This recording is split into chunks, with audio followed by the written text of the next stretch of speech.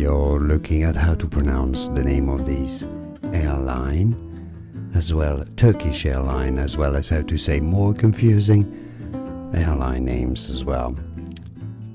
Pegasus Airlines is how it said. Pegasus. Pegasus. And now you know more videos for you here to learn more correct pronunciations. I'll see you there. Thanks for watching.